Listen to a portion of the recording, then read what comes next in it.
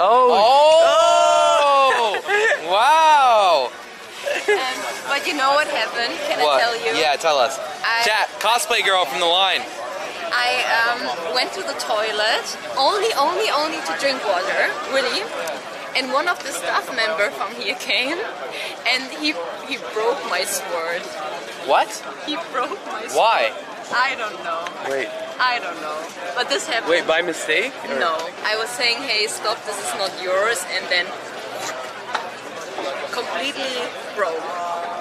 There, What yeah. a douchebag. Yeah. We should get him And fired. I was so angry and so sad. After I stopped crying, then I said, okay, t- tomorrow I come without cosplay because it was too too hard. yeah. Fuck. Can you fix the sword? Uh, no, it, it's so broke that it's stuck into the um, to the other part, and I have to do it at home. Yeah.